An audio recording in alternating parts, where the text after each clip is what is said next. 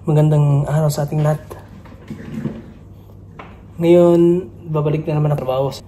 Tapos, nung nakaraang linggo pala, before ako mag-off, hal muntik na akong hindi maka-off nung araw na yun kasi sinasarado yung daan ng kasi mayroong bush fire. Tapos, mga after 3 days, binuksan ulit. So, nakadaan kami. So, nakauwi ako. Pero yung yung sunog na yon yung doon banda na sinasarado yung daan, nandun pa pero konti na lang. Pero kumakalat pa rin siya pero tatakbo sa kabilang side. So ngayon guys, dito kasi sa Australia ngayon sobrang init. Sobrang daming kaso ng bushfire. Tapos pagbalik ko ngayon, ipapakita ko sa inyo yung aftermath ng bushfire na doon banda sa pinagtatrabuhan ko kasi sobrang laki yun. Nung dumating ako sa airport na kung saan malapit yung pinagtatrabuhan ko, nakita ko yung mga bata na naglalaro, na masayang ma- naglalaro sa mga hayop.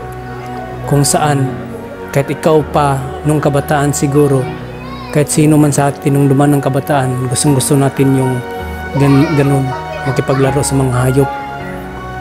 Pero hindi yan totoong hayop kundi naglalaro lang sila sa TV na sobrang saya nakikita nila yung mga hayop. Yung mga hayop na gusto ding mabuhay ng malaya.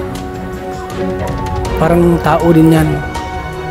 Parang tayo din na kung saan tayo masaya gusto nating doon na titira or mamumuhay. Gaya Gaya ng hayop, gusto nila na sa gubat, sagana yung mga pagkain, yung nakikita din nila yung pamilya nila at malaya silang nakakatakbo, nakakalakad at nakikita yung mga kapwa nila. Kaya yung nangyayari ngayon na global warming parang siguro na epektuhan yung pamumuhay nila Gaya nitong isang video na to na aftermath ng isang sunog. Ito yung isa sa mga epekto ng global warming. Sana po tayong lahat tayong lahat na namumuhay sa mundong ito ay magtutulungan na hindi pa haabot sa panahong mas malala pa yung apekto ng global warming kaya kung pwede sana kahit isang pirasong halaman na pwede tayong magtanim kahit sa bakuran lang natin gawin sana natin. Kasi nakakatulong na rin din yun sa, ano, sa kalikasan. Tingnan nyo yung video na to kung ano yung uh, nangyayari or epekto ng global warming. Sana kung nakita nyo yung video na to, ma-realize ninyo kung anong dapat nating gawin sa sa mundo natin. Ma-realize din ninyo yung kung ano yung mga nagawa nyong uh, mali sa kalikasan. Dapat mahalin din natin yung mundo natin kasi ito yung ginagalawan natin. Ito yung gagalawan din ng mga future generation, mga anak, apo natin or mga apo ng anak natin. Kaya siguro naman mas importante ding pangalagaan natin yung mundong ito. Kasi dito tayo nabubuhay, dito tayo kumakain, dito tayo uh, lumalanghap ng masarap na hangin, uminom ng malinis na tubig.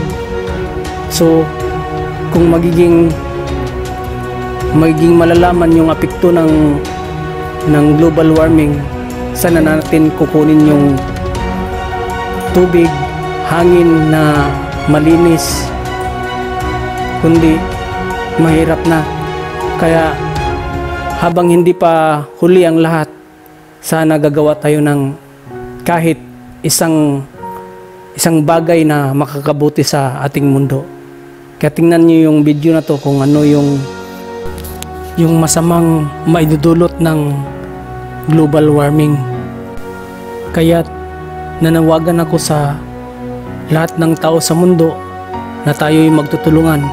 Kahit saang sulok ka man na kontinente sa mundo magtutulungan tayo hanggat hindi pa huli ang lahat para ma-save natin ang ating mahal na planeta. Isang tabi muna natin yung politika gera kasi ang tunay na gira ay ang gira kung paano natin isusulba ang problema ng ating mahal na planeta.